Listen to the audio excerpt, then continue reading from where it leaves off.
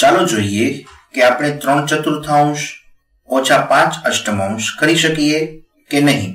ત્રણ ચતુર્થાંશ અહીં આકૃતિ સ્વરૂપે આપેલ છે.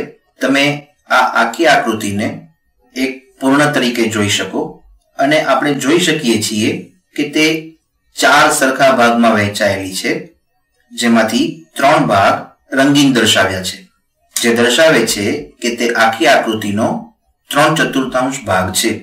હવે આ નીચેની આકૃતિ પણ એક પૂર્ણ વસ્તુ છે તેમ માની લઈએ, જે એક સરખા આઠ ભાગમાં વહેંચાયેલી છે, જેમાંથી પાંચ ભાગ રંગીન છે.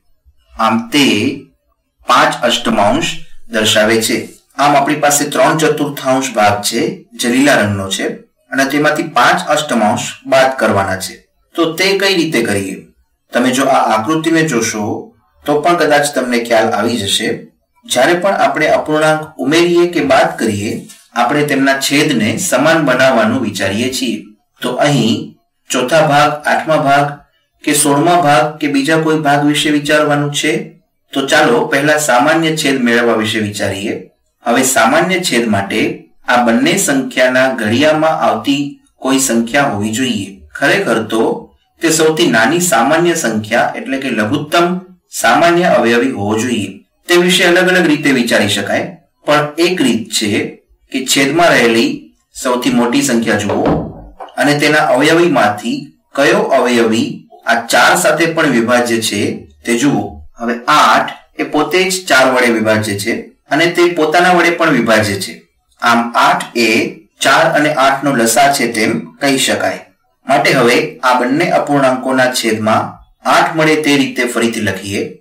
માટે ત્રણ ચતુર્થાંશને એ રીતે લખીએ, જેથી છેદમાં આઠ મળે. અને તેમાંથી પાંચ અષ્ટમાંશ બાદ કરીએ, તેના છેદમાં આઠ આપેલ જ છે. હવે તમને તમારો સાચો જવાબ મળી શકે.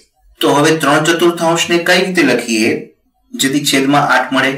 તેના વિશે પણ જુદી જુદી રીતે વિચારી શકાય. એક રીત છે કે જુઓ છેદમાં ચાર છે. હવે જેટલા સરખા ભાગ છે તેના બમણા કરીએ, તે માટે તેને બે સાથે ગુણીએ. જેથી જેટલા ભાગ રંગીન છે, તેના પણ બે ગણા થશે. આમ ત્રણ ચતુર્થાંશ એ છ અષ્ટમાંશ જેટલા છે. આપણે આકૃતિમાં પણ તે જોઈને કહી શકીએ. અહીં જુઓ, ચાર સરખા ભાગ છે. જેના આઠ સરખા ભાગ કરીએ. ચાલો તેમ કરીએ. આ થયા આઠ સરખા ભાગ. આમ આપણી પાસે છે એક, બે, ત્રણ, ચાર, પાંચ, છ, સાત, આઠ. આઠ સરખા ભાગ. અને આપણે જોઈ શકીએ છીએ કે તેમાંથી છ ભાગ રંગીન છે. આમ ત્રણ ચતુર્થાંશ એ છ અષ્ટમાંશ જેટલું જ મૂલ્ય ધરાવે છે. હવે આપણે બાદબાકી કરી શકીએ. આપણી પાસે છ અષ્ટમાંશ છે, જેમાંથી પાંચ અષ્ટમાંશ બાદ કરવાના છે. આ પાંચ ભાગ તેમાંથી કાઢી લઈએ. પાંચ ભાગ. તેને અનુરૂપ આ જાંબલી રંગના પાંચ ભાગ લઈએ. એક, બે, ત્રણ, ચાર, પાંચ. આપણે આ ભાગ લીધા છે. માટે જો લીલા રંગના ભાગોને જોઈએ તો આપણે છ અષ્ટમાંશથી શરૂ કર્યું અને તેમાંથી એક, બે, ત્રણ, ચાર અને પાંચ ભાગ લઈ લીધા. અને તમે જોઈ શકો છો કે નીચેના આ પાંચ ભાગને ધ્યાનમાં રાખીને ઉપર કેટલા ભાગ વધે છે? જુઓ કે આપણી પાસે એક અષ્ટમાંશ ભાગ બાકી રહે છે. તમે સંખ્યાની દ્રષ્ટિએ પણ જોઈ શકો. આપણી પાસે કોઈ છ વસ્તુઓ છે, અહીં છ અષ્ટમાંશ છે, અને તેમાંથી પાંચ વસ્તુઓ કાઢી લઈએ, જે અહીં પાંચ અષ્ટમાંશ છે. તો આપણી પાસે એક વસ્તુ બાકી રહે છે, જે અહીં એક અષ્ટમાંશ છે.